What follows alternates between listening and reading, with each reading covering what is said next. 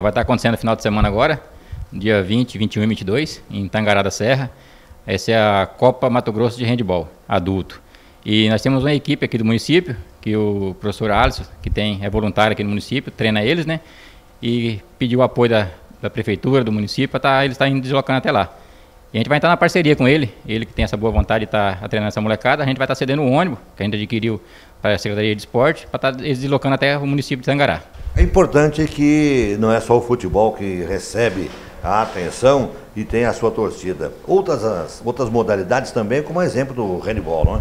Isso mesmo, Paulo, porque o pessoal sempre foca no futebol, no futsal, que é o que o pessoal mais gosta, mas sempre tem aparecido handball, basquete, vôlei. Então a gente procura dar atenção a todas as modalidades, que é a intenção da Secretaria de Esporte. Agora, a, os treinos são constantes do handball, não é? Isso mesmo. E o Alisson tem essa boa vontade dele, né? Que a gente cede os horários para ele, tanto aqui no Ginásio Central quanto no Jardim América. Ele reúne esse pessoal dele, faz os treinos dele e, graças a Deus, acontece essa, essa competição e estão indo participar. E o senhor, como secretário, qual é o perfil dessa garotada aí que o senhor espera desse, dessa, dessa Copa Mato Grosso?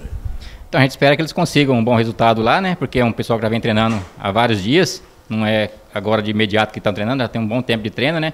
Eu estou bastante confiante, torço para eles e que tragam um bom resultado para o nosso município.